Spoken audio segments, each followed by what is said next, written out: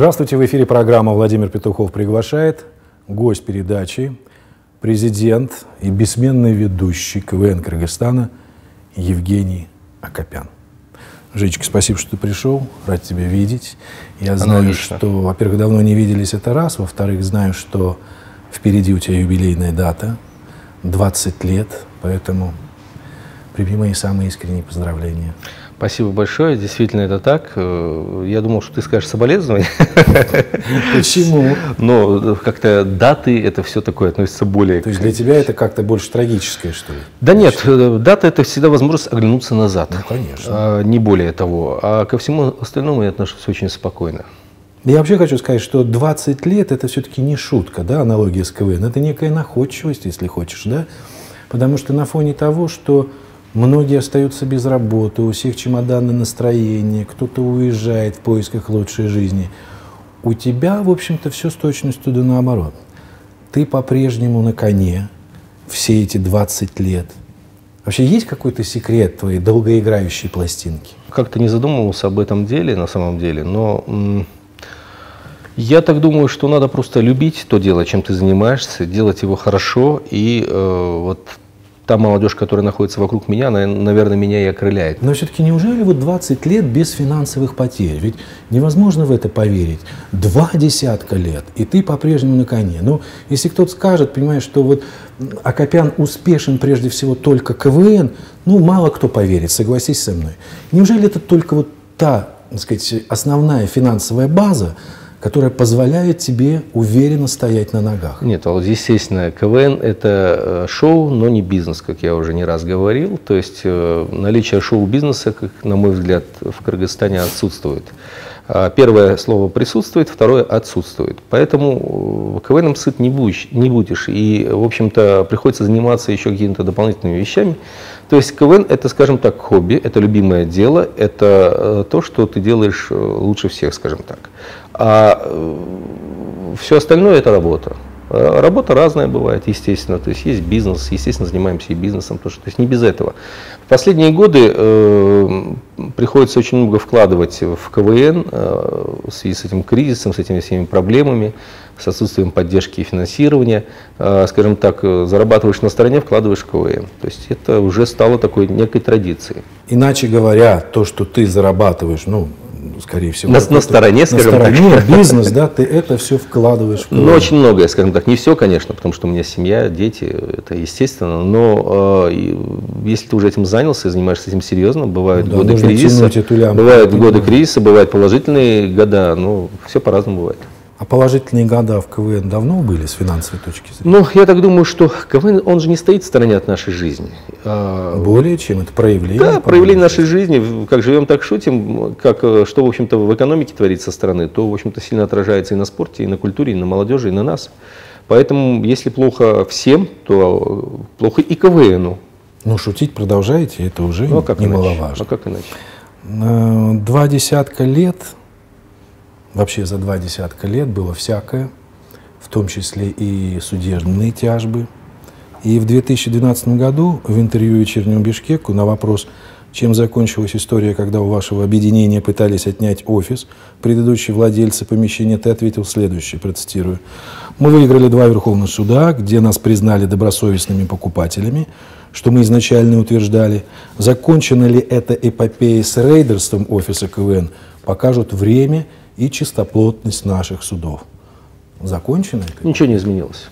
Мы выиграли три Верховных суда, то есть э, все, как звучит, все, что звучит в определении Верховного суда, ну, вообще говорят, Верховный суд это точка. Да. Но э, Кыргызский Верховный суд это многоточие.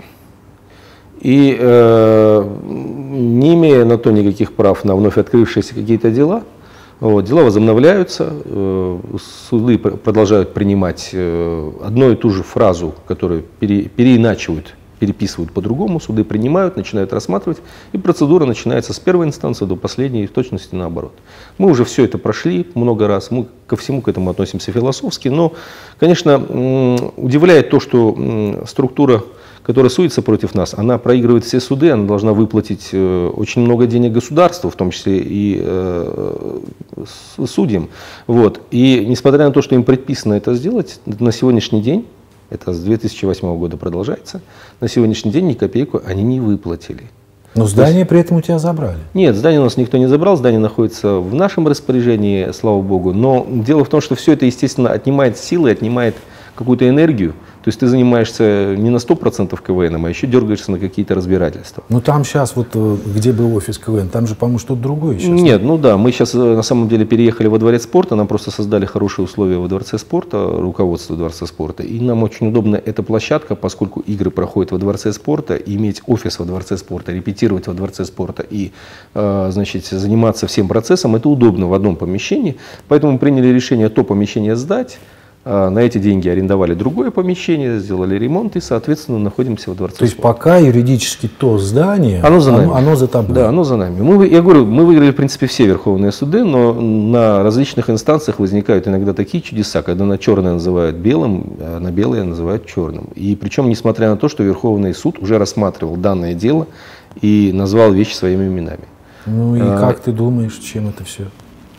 Да я на самом деле не знаю, все-таки надеюсь, что я ну, позитивно пока, настроен. Хорошо, пока ты с этого здания получаешь деньги, правильно? Если оно мое, да. Оно в аренде. Мое, да. Просто я к чему говорю, потому что если ты сейчас арендуешь здание, э, вернее офис во Дворце спорта, ну аренда есть аренда, это же не мое все равно, не Конечно. твое. Потому что ну, кому-то заблагорассудится поднять просто до неописуемых высот. И опять останется, что КВН без собственного, так сказать, Нет, дома. помещение у нас есть, просто мы приняли решение сдать то помещение, переехать в это. Да. И нам просто это удобнее находиться во Дворце спорта, не более чем удобнее. Вот, э, потому что когда проходит репетиция, если что-то необходимо, не нужно куда-то уезжать, не нужно что-то привозить, то есть все находится в стенах Дворца спорта. И мы благодарны руководству Дворца спорта, которое, несмотря вот на все эти времена, не поднимает расценки нам, то есть э, держит условия договора и понимает, что КВН это нужно, нужно для страны. Вообще это поразительная вещь, ведь, насколько я знаю, ты лауреат государственной премии Киргизской ССР. Но да? лауреат государственной премии в номинации «Лучший молодежный лидер» это, это, эта премия была э, дана еще при первом президенте. Ну хорошо, но все равно подобная премия, подобное звание, к примеру, оно же дает право открывать какие-то двери. Потому что ты, тебя процитирую, когда, в общем-то, пытался на правительственном уровне решить этот вопрос, ты говорил следующее – мы обращаемся к президенту переходного периода Кыргызской республики Розе Атунбаевой с просьбой прекратить судейский беспредел. Верим, что люди, которым не безразлична судьба молодежи, обязательно вмешаются в это дело. Мы будем стоять до конца. То есть выходит, что никто так и не вмешался. Ну, скажем так, когда мы обращались э, на очень высоких уровнях, обращались к людям, они сказали, что вы понимаете, что любое вмешательство э, политиков в дела э, судейские будет э, означать э, опять нехорошие времена, когда типа мы указываем людям, как жить и так далее. Есть на это суд, вот пускай он и вершит. Ну, какие у нас суды, я думаю, что объяснять не надо. Есть, конечно, и порядочные судьи, за что мы им благодарны, которые держат марку судейскую, но есть и такие, которые, мягко говоря, несмотря на все вот эти передряги последних лет, когда там Совет судей был создан, там аттестация и так далее, тем не менее находятся судьи, которые творят беспредел, увы. То есть, иначе говоря, на правительственном уровне тебя никто не поддержал? Э, ну, скажем так, э, чтобы вызвали кого-то из судей или сказали, там, ребята, разберитесь по существу дела, нет, такого не было. Ну да, ну да. Хотя, казалось бы. Давай продолжим о КВН. И, как я понимаю, ну, чтобы зрителю было понятно, может быть, кто-то еще как-то путается, сегодня существует два независимых друг от друга клуба, организации, как это правильно, не знаю. Значит, КВН Кыргызстана – 20 лет которому, и ты возглавляешь эту организацию. И, если правильно, то правильно, если неправильно, поправь меня, лига, она называется то ли Ала-Тоо, Азия Микс, ну так угу. привыкли, по крайней мере. вообще три, три лиги есть. Три лиги, есть, да? По большому счету, ну, еще, еще кыргызоязычная лига Тамашоу. Тамашоу, да. Ну, непосредственно Азия Микс, которую возглавляет Эльдияр, да, Кененсаров. И несколько лет назад в интервью ты сказал следующее. А что касается Азиамикс, говоришь ты, то она не представляет для нас никакого значения. Игры проходят редко, количество команд и их уровень достаточно низкий. Лига, которая не смогла на республиканском уровне что-то серьезное сделать, вряд ли она способна сделать что-то на более высоком уровне. Ты по-прежнему так считаешь? Я по-прежнему считаю, что э, абсурд э, в небольшом Кыргызстане и в маленьком Бишкеке иметь две русскоязычные лиги так же, как и две кыргызоязычные лиги. По той простой причине, что ничего хорошего в этом нет. Все слова о том, что конкуренция, они заканчиваются тогда, когда мы начинаем смотреть, э, какие команды играют у нас, какие команды играют там, количество команд играющих, качество, на каком материале играют команды. То есть, когда мы переходим к профессиональному э, осмыслению того, что происходит, мы прекрасно понимаем, что э, это печально, но это факт. Мы растим, мы воспитываем, мы поднимаем с нуля людей. Потом, естественно, существуют человеческие факторы – когда кто-то кого-то переманил куда-то, уходит команда с нашего клуба, которая успешно развивалась и дошла до определенного уровня и могла идти дальше. Вот. Но благодаря каким-то фантикам, благодаря каким-то вот таким вещам ее переманивают в другую лигу. А, в этой лиге перестает рост команды по той простой причине, что а, приходит команда, людям, которые занимаются этим, не нужно, чтобы команды росли. Им нужно, чтобы это существовало вот здесь и сейчас. И, э, естественно, этими ребятами никто не занимается. По большому счету никто не занимается. Говорят, что у вас есть? Они говорят, вот у нас есть архив КВН Кыргызстана. Когда мы играли три года в КВН Кыргызстана, у нас есть ряд шуток, ряд номеров. Показывайте, показывайте. Это хорошо, давайте вот делайте вот это, вот это, вот это. Потому что, естественно, это они уже делали у нас, это уже хорошо заходило на зал. А, то есть отбивают охоту писать новый материал. Если команда не пишет новый материал в течение года, команда заканчивает существование. Что заставляем мы? Каждая игра – это премьера. Вы уже показали вчера вчерашний материал. Сегодня должен быть новый. Он лучше, хуже. Это творческий процесс. Невозможно всегда делать на высокую оценку пятерку. Иногда бывает на четверку, иногда бывает на троечку. Но это свой материал. Мы заставляем творить, мы заставляем писать. Да, это тяжело, да, это сложно. Но только таким образом можно чего-то достичь. Но Появляется... Тебя это сильно задевает, тебя это удручает, меня, положение таких я, вещей? Я, я постоянно вспоминаю фильм «Человек с бульвара Капуцинов». Помните момент, когда приехал Миронов, начал показывать доброе кино? Да. И вот это вот э, ковбои, вот эти вот э, Мистер ковбойские штучки, да, ковбойские штучки, э, они стали воспитанными, они стали культурными. То есть все, все идет от учителя. Что несет в себе учитель? Какое зерно? Я сейчас, может быть, это немножко громко говорю, но смысл, в принципе, тот же самый. Я думаю, умные люди поймут. То есть, получается, ты мистер Фест некий, а Азия Микс это мне мистер не нравится, Мне не нравится, что э, лига, созданная на наших командах, она не создает новые команды. То есть, что такое КВН Кыргызстана, чтобы было понятно. Ведь Есть... это же конкуренция, я правильно понимаю? Конкуренция тогда, когда, Володь, я набираю 10 команд новых, и ты набираешь 10 новых команд. С нуля. И мы с нуля начинаем да. старта, стартуем, Понятно. и кто круче, кто умнее, кто талантливее, да. тот и докажет. Что происходит в этом случае? Создается лига. Фантиками заманиваются уже готовые мною команды. Не создаются новые. Фантиками а... это ты деньги имеешь в виду? Нет, ну зачем? Ну, э, я не буду как бы утрировать э, именами э, определенных лиц, ну, да, э, символами, э, значениями и так далее, и так далее. Опять же, умные люди поймут. Так. Э, заманивается команда. Команда переходит туда перестает играть в КВН Кыргызстана. А у нас обязательное условие, что две, в двух русскоязычных лигах команда КВН Кыргызстана играть не может. Ну, ты это сделал официальное обращение на своем сайте. Я даже читаю, да, может, кто-то да. не знаком. Значит, вот э, Евгений Акопян на сайте КВН КГ сделал официальное заявление. В играх КВН Кыргызстана могут принимать участие только команды КВН, не играющие в других лигах КВН Кыргызской Республики команды, принявшие участие в играх другой лиги, будут сняты с наших игр на любой стадии в связи с нарушением данного указа. Да, это давно действует правило. Оно не распространяется на лигу Тамашов, поскольку э, это кыргызоязычная лига, разный зритель, mm и мы э, считаем, что поддерживать государственный язык нужно, это наша позиция. И э, должна быть одна лига на кыргызском языке и одна лига на русском языке. Это наша позиция. И, кстати, такой же позиции, насколько мне известно, придерживается и лига Тамашоу. А с чем ты связываешь? Все-таки, ну, не будем лукавить, это уже факт официальный, неопровержимый, что за несколько лет Азии Микс удалось сделать то, что КВН Кыргызстану не удавалось сделать в течение 20 лет. Если бы у нас были бы такие инвестиции, как это были у Азия Микс, мы бы там уже лет 5-7 назад были бы. А почему? Как вот ты не анализировал, почему Азия Микс? Ты, э, ну, сторожил в этом направлении, основатель, ну как угодно. Почему средства не даются тебе, а даются твоим воспитанникам? Ну, наверное, этот вопрос надо адресовать не мне, поскольку не я даю средства моим воспитанникам так. или мне. Вот. А, ну, ты же их просишь, я, Жень. Э, я затрудняюсь сказать, почему. Единственное, что мне не свойственна э, такая штука, как ходить по головам, э, да, и переступать через определенные моральные ценности, которые в которых я воспитан в своей, в своей семье и воспитываю своих детей также, что свойственно, в общем-то, определенным людям. Ну, в частности, конечно, не будем касаться персоналей, оставим это за кадром. Мы никого не хотим обидеть. Мы никого не хотим обидеть. Да и, собственно говоря, герой сегодня, президент КВН Кыргызстана. Выдержим небольшую паузу, сейчас будет немного рекламы, а потом дальше обязательно продолжим.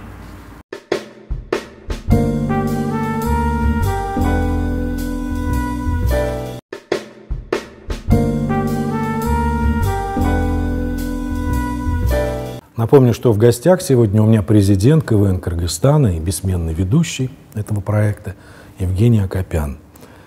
Ну, все-таки вернемся к Азии Микс, ну, потому что тема такая, она актуальная, очень интересная для зрителей. Ты продолжаешь сейчас общаться со своими бывшими воспитанниками? Они Конечно. кто для тебя? Нет. Конкуренты, недруги, ну, я не знаю. Нет, нет, Володя, злоба – это не про нас. Так. Есть определенная позиция, жизненная позиция, позиция человека, э, наставника, скажем так. Э, естественно, какие-то вещи радуют, не скрою. Когда ребята удачно рвут разминку в хлам, я понимаю, откуда это.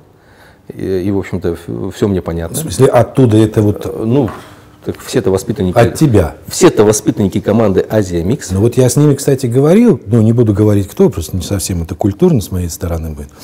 Э, Акопяна называют Карабас-Барабас, потому что он очень сильно переживает, когда его куклы вообще, так сказать, делают ну, самостоятельные шаги в этой жизни. Ты никогда это не слышал? Нет, бо- более того, я скажу так, я очень э, доволен тем, что ребята после КВН, то КВНом же жизнь не заканчивается, мы Ну, должны хорошо, понимать, вы есть цикличность. здороваетесь вот вместе, когда- Конечно. да, правда? Да я Такого занимаюсь, нет здороваемся, нет, нет. А даже нет. так? Нет, нет. Такого нет. У нас есть как бы творческие какие-то разногласия.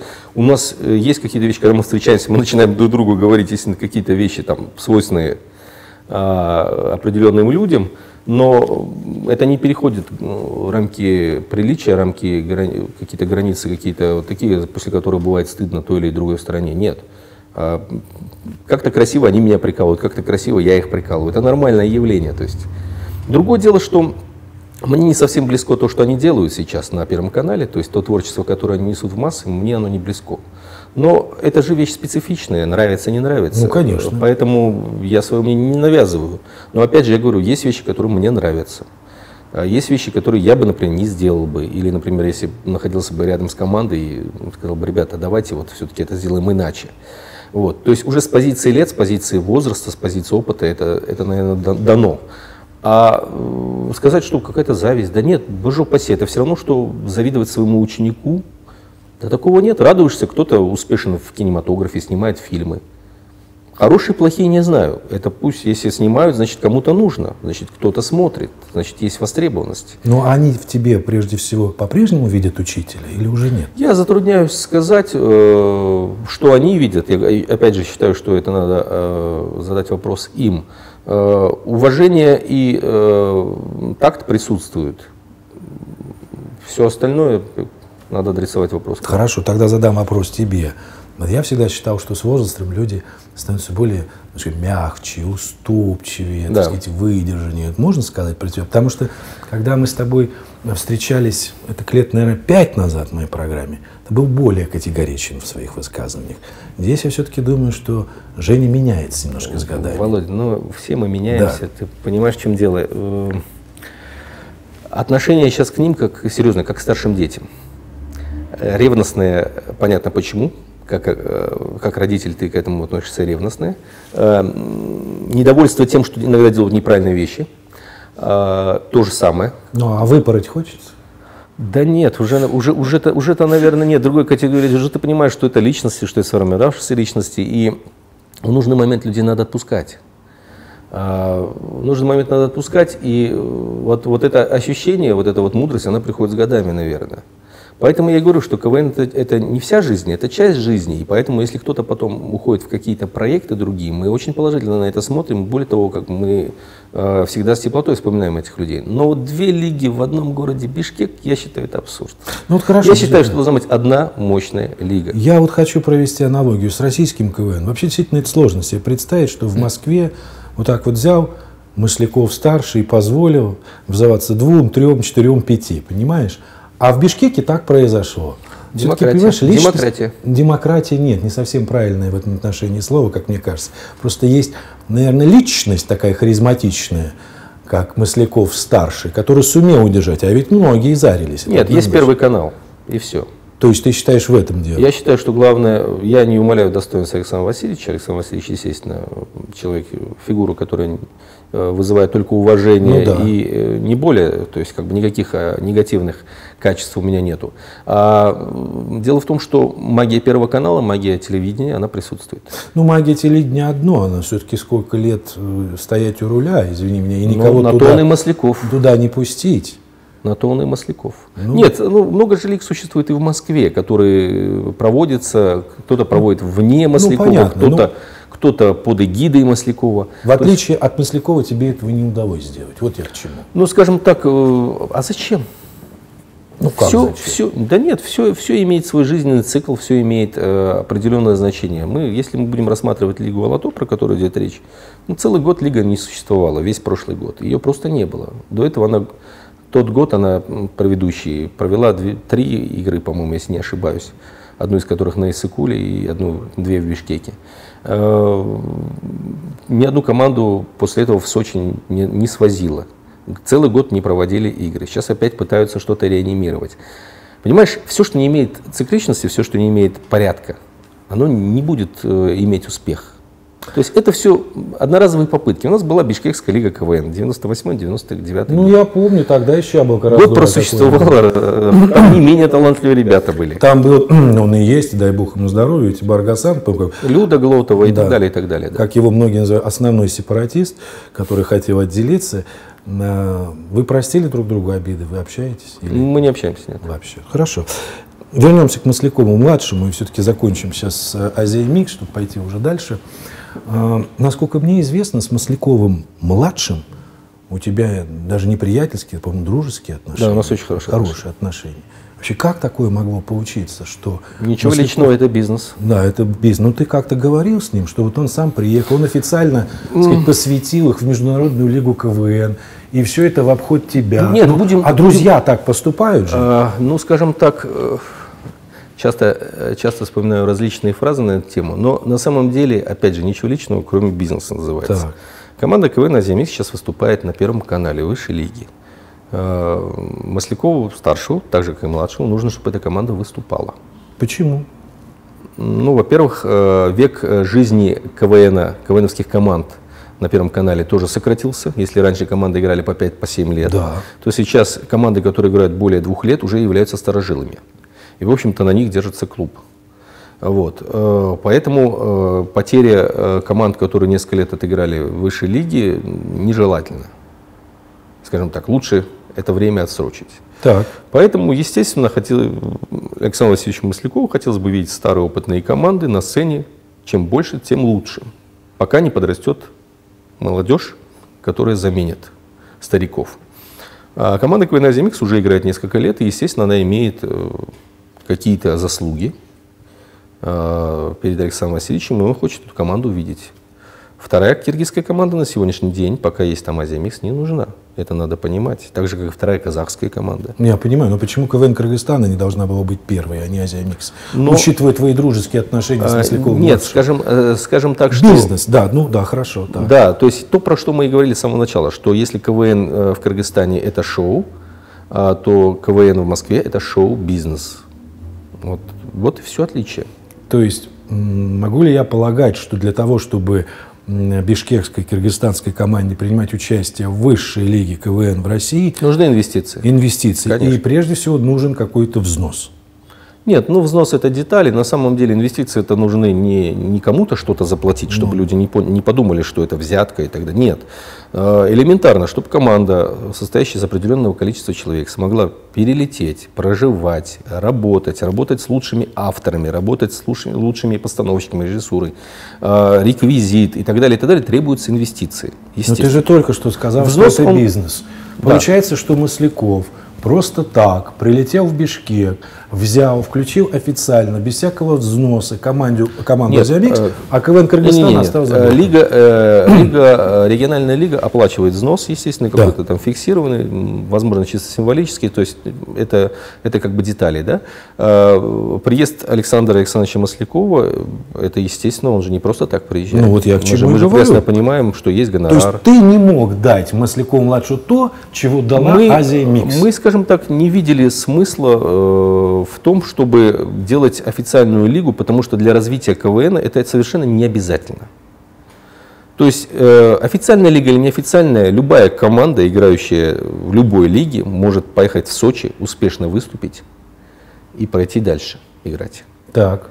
Вот. То есть для этого не требуется статус. Понимаешь, это как бы устами профессионал, но не каждый понимает. Обывателю как? Он включил телевизор, увидел на первом канале Азия Микс. Он понимает, что вот это успешная команда, то, что там все нормально. Он включает телевизор и не видит КВН Кыргызстана. Ну, Значит, КВН Кыргызстана ну, не, не, такая, не такая сильная организация и профессиональная. Ну, Володь, как? мне очень нравится заниматься э, КВНом и э, шоу вот, вот здесь. Мне нравится э, вот вся эта процедура, мне нравится, мне это очень близко. Да. А, Там, где начинаются деньги, там заканчивается творчество. Я, пожалуй, буду заниматься творчеством. Это моя позиция. Я хочу тебя вот о чем спросить. Потому что в последнее время в российском КВН, ну и я это наблюдаю, просто у человека, который знает всю эту кухню изнутри, у тебя, как профессионала. У меня создалось впечатление, не только у меня, у многих зрителей, что жюри в КВН стало очень сильно ангажировано в политическом отношении. Что ты по этому поводу думаешь? И второй, так сказать, под вопрос к первому. Вообще, сколько сейчас политики в российском КВН? Политики в плане юмора. И в плане юмора, и в плане продвижения каких-то любимых команд. Но э, я не буду говорить за продвижение, поскольку, как всегда Ну это же очевидно. Иногда бывает, понимаешь, ну команда, ну так себе, ну ничего особенного, а там высшие баллы. Ты знаешь, Да, очень плохо, что очень часто попадают команды, которые того не заслужили. Как они попадают, я не знаю. Вернее, скажу, что не знаю. А, Но факт остается фактом, что хотелось бы, чтобы таких команд было меньше. От этого страдает игра, от этого страдает Зритель, зритель, конечно, А, смотрибельность и так далее. Что касается э, первый вопрос твой звучал как еще раз, вот он меня больше зацепил, чем чем второй, поскольку Насколько все- все эти политически дела- ангажировано сегодня жюри? а, у них у них все предельно просто. Дело в том, что кто кто платит, тот и танцует. Все понятно. То э, есть ангажировано. Ну, наверное, планету, я планету, планету КВН, наверное, поставить на государственный бюджет, Естественно. И оплачивать получить дом КВН. Дом КВН, Ну, я про него и говорю, оплачивать полностью все расходы и так далее, наверное, э, об этом может мечтать любой руководитель лиги. Ну да. Любой. Ну То есть, да. э, что, э, мягко говоря, такая крыша в лице президента страны, мы об этом можем только мечтать, на самом деле. Вот. Естественно, как про такого человека можно плохо шутить? Объясните, пожалуйста, мне. Ну, это просто грех. В смысле, под как ты имеешь в виду по- по- про президента? Естественно, Нет, про я власть. сейчас даже не про это говорю, немножко по-другому. Политически ангажировано в каком отношении? Что тянут команды, ну, учитывая нынешнюю политическую ситуацию, иногда команды, ну, так себе, но поскольку это, допустим, чеченская команда, к примеру, то ей нужно, ну, как-то там натянуть. Ну, политика присутствует, да. Безусловно. Вот я хочу тебя спросить, ты же изнутри все это знаешь. Нет, политика присутствует, но, э, опять же, э, Ну, зритель-то не дурак, он же прекрасно понимает, что ну вот взяли, натянули, а с чего натянули? Ну, потому что Константин часто- Львович я, сказал. Я, знаешь, я знаю, что я тебе скажу. Очень часто э, КВН в зале и КВН по телевизору отличается. Это когда, я понимаю. когда ты сидишь, смотришь э, в зале, а потом помнишь свои те вот ощущения, а потом садишься возле телевизора, да, Конечно. ты видишь совершенно другое. Можно как бы как, как сделать конфетку, так и наоборот, да, из команды. Нет, сказать, что кто-то кого-то специально топит или кого-то поднимает, такого, конечно, я не могу сказать, хотя, а, наверное, что такое возможно и присутствует. Вот. Но э, я не могу сказать вот то, это, то же самое про наш КВН, потому что у нас здесь предельно все честно. И если я вдруг э, когда-нибудь узнаю, что кто-то где-то что-то, эти люди, естественно, не будут ни в жюри, ни э, участвовать близко к КВНу. Ну, здесь, То есть- Женечка, другая совсем ситуация. Здесь, по-моему, Да. политикам вообще не интересно, что в КВН. Нет, дело даже не в политике. Дело в том, что у нас вот возможность как-то как-то договориться, как-то решить проблему практически невозможно. Практически невозможно. Я, наоборот, знаешь, о чем хотел? Раз уж заговорили о Масляковых. Старший, младшему все-таки уже подготовил безбедное существование на долгие годы. Ну, наверное, да. Ну, так оно и есть, Наверное, правда? передача власти должна произойти рано или поздно, и, естественно, Скорее всего. ну, процентов 99,9. Хотя как-то мы с тобой говорили на тем, ты сказал, что Маслякову младшему не дадут работать. Скажем, нет, я не сказал бы, что не дано. Саша, кстати, очень сильно вырос по сравнению вот с, э, за Не, не, последние не несколько дано, лет. не дадут работать. Не дадут. Э, Тоже не знаю. При нынешней политической обстановке не знаю, потому что э, не все всегда зависит от людей. Но я сказал бы так, что дай бог здоровья Александру Васильевичу Маслякову, потому что ну, он для меня, например, неоспоримый авторитет. Ну, это конечно. А, Дай бог, чтобы Саша вырос в такого же авторитета, и э, чтобы вот, вот эта харизма, которая присутствует у Васильевича, чтобы она была и у Саши. Кстати, Хорошо. он оч- очень здорово растет, и на самом деле без всякого этого, не, не для камеры, а тот Масляков, который начинал, а он начинал на моих глазах, это был 2000 год в Алмате, первая игра, а, и тот Масляков, Который который, сейчас. сейчас, это небо и земля, конечно. Поэтому я думаю, что Москва не сразу строилась. Хорошо, ну ладно, Масляковы определились с будущим, а Акопяны определились, потому что у тебя тоже ж дети, насколько я знаю, играют в КВН. Ну, я, скажем так, еще, еще молод, надеюсь. Ну уж по сравнению с Александром Потом, Васильевичем, потом был бы бизнес, понимаешь, Да, да, может быть, бы можно было передать. Да, а, а- а на самом деле сейчас, это, скажем так, я бы с удовольствием, наверное, в сторонку ушел бы и занял бы место в жюри, сел бы и отдыхал бы, наслаждался бы жизнью. Но дело в том, что боюсь, что никто не займет э, эту позицию, и никто, и никто не потянет дальше. Поскольку э, если это материально неинтересно, то зачем, да, Ну, вопрос. да. Вот. ну играют дети твои же, да? Дети играют, да. Дети играют в школьной лиге и, э, в принципе, развиваются. Я не против этого, почему бы нет. Я хочу сказать, что раньше-то с твоей помощью я достаточно часто присутствовал в жюри. КВН Кыргызстан очень дело это любил. Но в какой-то момент понял, что ну вот как-то стало неинтересно, не смешно, ушел. И хочу тебя спросить, на сегодняшний день уровень юмора, шуток по сравнению, ну скажем, то, что было лет 10 назад, он сильно изменился в худшую сторону? Ты знаешь, он изменился не то, что в лучшую или в худшую сторону. Э, Ушла, Потому что скажем, изменился даже в России, это ушла, видно. ушла глубина шутки. Да, да, да, конечно. А, Я всегда относился э, очень э, щепетильно к слову. Для меня главное была идея, главное было слово, юмор. Э, КВН, э, как в России, так и у нас, он стал более театрализованным, он стал более... э, То есть посмотришь КВН, и вот если ты станешь после него, я про российский сейчас Конечно. говорю, и станешь после него и вспомнишь две-три фразы, которые тебя зацепили, И то и не вспомнишь. э, то считается КВН хорошим. Э, Выступления команд КВН сократились вдвое, а то и втрое. То есть, если мы возьмем э, те года, которые были 2000-е, золотые годы КВН в Москве, да и везде, в общем-то, вот, то выступление длилось 15 минут. Да. А, Это э, был сюжет, завязка, развязка и так далее, и так далее. То есть куча шуток, куча номеров. Драматургия была. Да, это, это был своего рода театр. То сейчас все это сводится из-за того, что, в общем-то, времени очень мало дается на выступление, все сводится к полушуткам, к кривлянию, к какому-то вот такому жанру. А, Меня это, естественно, как человека оттуда не радует. А, Мне ближе классический КВН. Именно поэтому из нынешних команд КВН не получится никогда уральских пельменей, никогда не получится команда КВН Руден, утомленных солнцем. Это нужно забыть. Вот. э, Во главу угла в каждой, каждой команде идет, э, то есть вот если ты знал раньше в каждой команде каждого участника команды, потому что это были актерищи, либо певцы, либо актеры, всех ты знал, то сейчас в лучшем случае это команда двух исполнителей.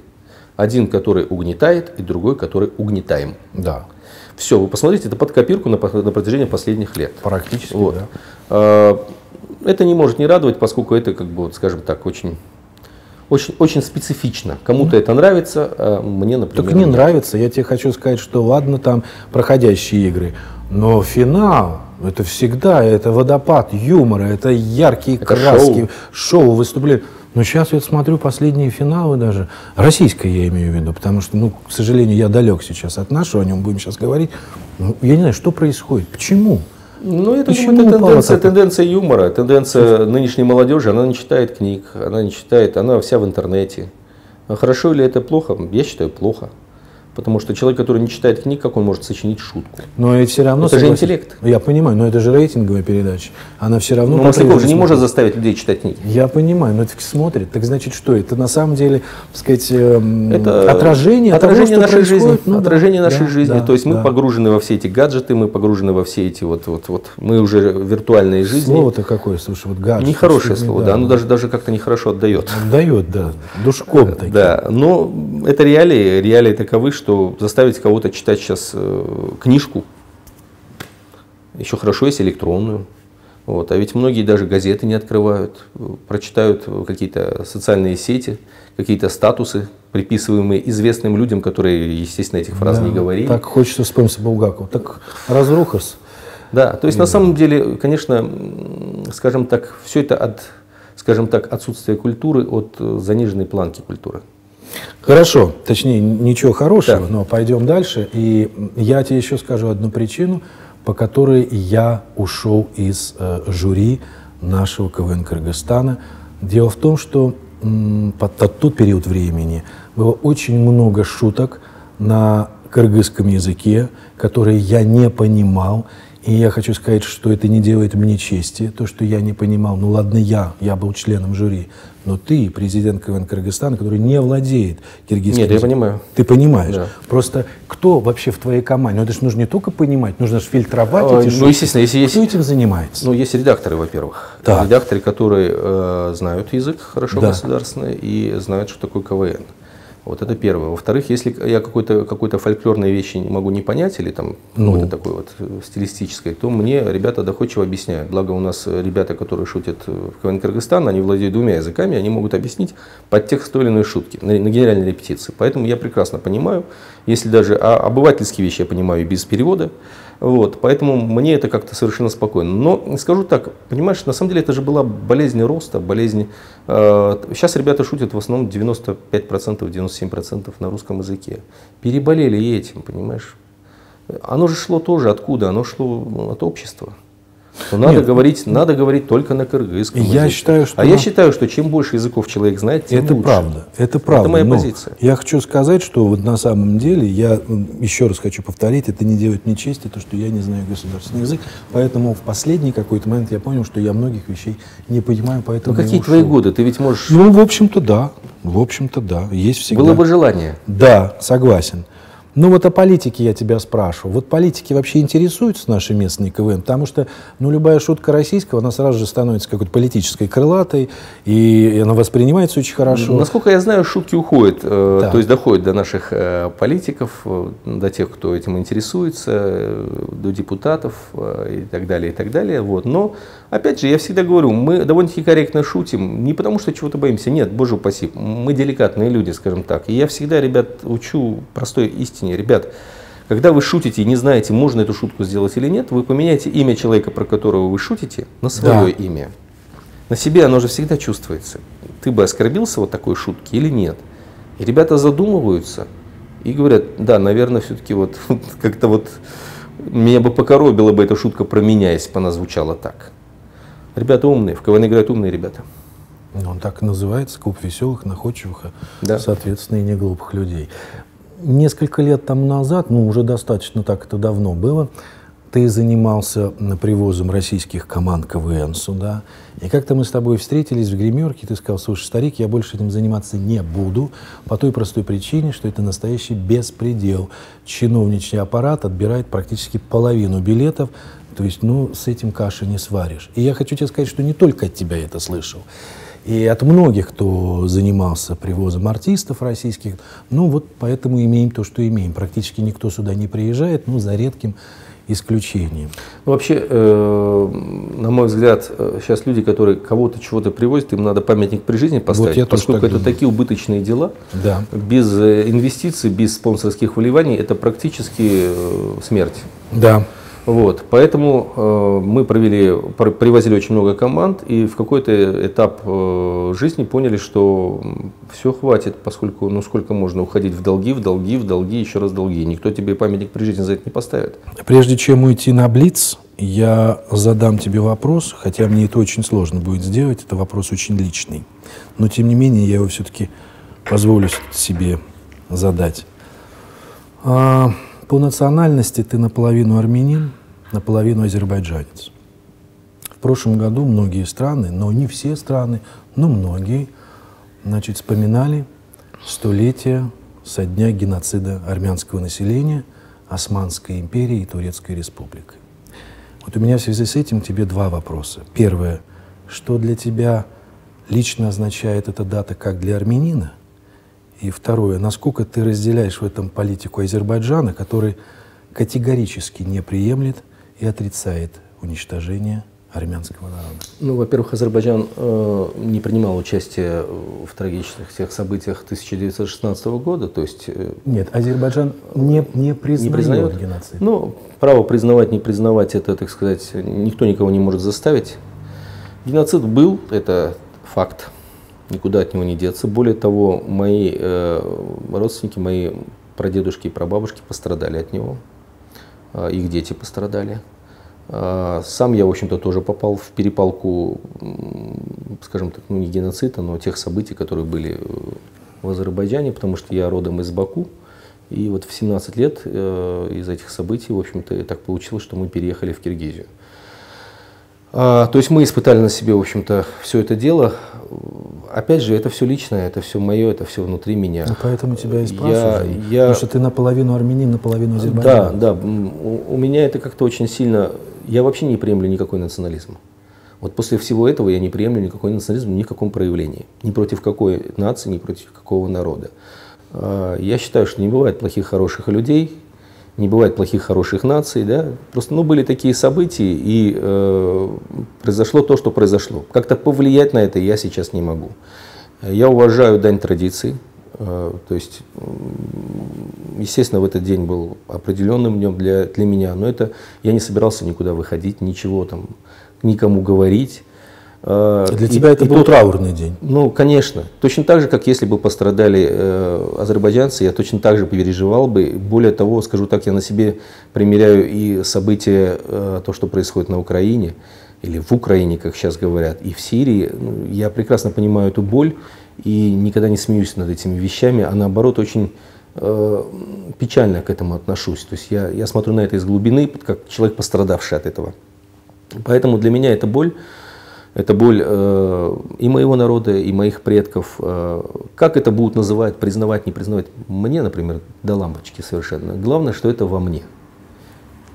Несколько блиц вопросов, если позволишь, то называется так, лаконично.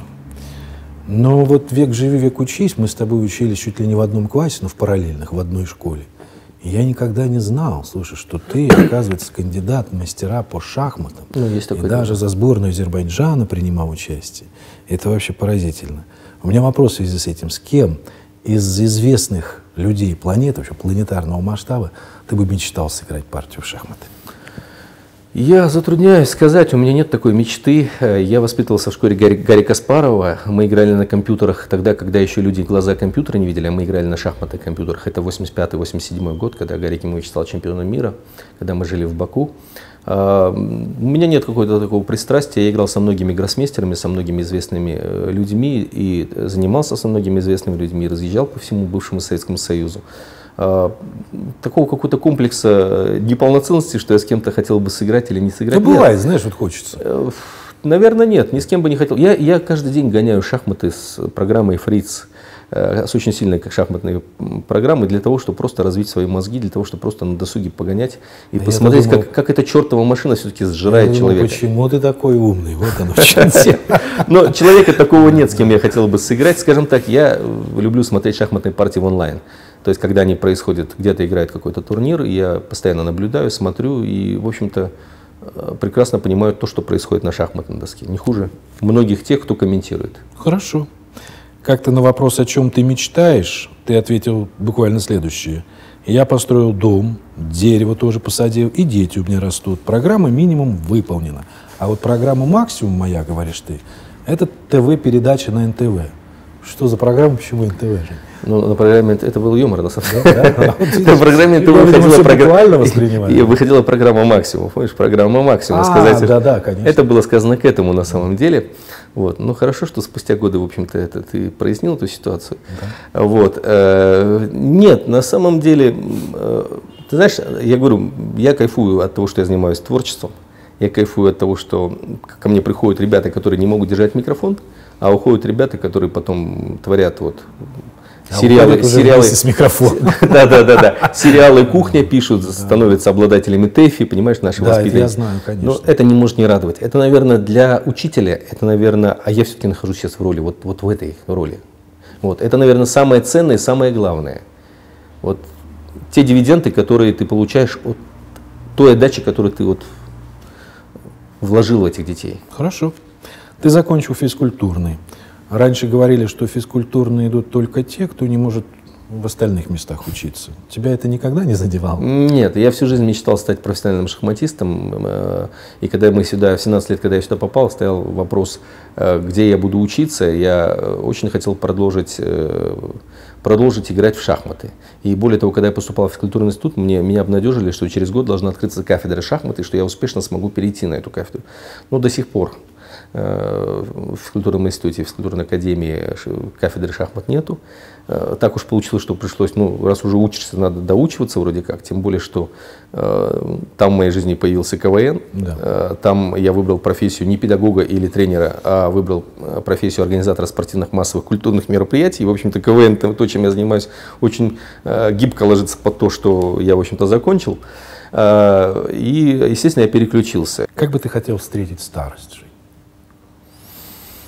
На берегу моря, э, в кругу своей семьи, вырос, рядом с женой, рядом с, со своими детьми уже повзрослевшими. И чтобы из окна вот так вот было море. Что тебя отталкивает в людях? А, непорядочность и ложь. Твой самый главный недостаток? Наверное, лень. Какой из внешних факторов женской красоты для тебя приоритетней? Как расшифровать этот вопрос? Потому что он такой многогранный. Ну, вот уж не знаю, что тебя больше всего в женщине внешне привлекает. Глаза. Понятно. Какому из местных политиков у тебя наибольшее доверие? Из местных политиков? Ну да. Я затрудняюсь сказать, потому что политика это такая, такая несерьезная штука, но, скажем так, э, э, нету какого-то культа личности, э, какой-то симпатии или антипатии, скажем так, э, есть понимание того, что делает наш президент. Ты верующий человек? Э, в том понимании, в котором сейчас это модно, модно говорить, нет.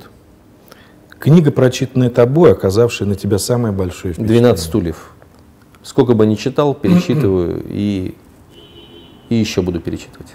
Ну, тем более будет возможность приобщить еще и нашу телевизионную аудиторию а, к юбилейному Да, 2, 2 апреля мы решили сделать э, юбилейную игру «20 лет КВН Кыргызстана». День рождения наш 31 марта, но мы решили его немножко сдвинуть на 2 апреля. А, приглашаю всех, в том числе тебя, Володя, надеюсь. Спасибо. Вот, 2 а, апреля во Дворец спорта э, на юбилей КВН Кыргызстана 20 лет. Будут э, наши молодые команды выступать, будут те, кто когда-то закончил школу КВН Кыргызстана играть.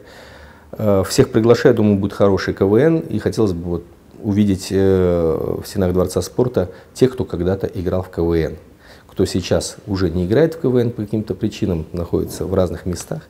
Приезжайте, с удовольствием рады будем видеть и пригласительные с нас. Хорошо, ну и пригласительные для зрителей, кто ответит правильно на вопрос. Вопрос следующего характера. 31 а, марта 1996 года состоялась первая игра КВН, в которой я вышел как ведущий. Какие четыре команды выступали в этой игре и как называлось это мероприятие?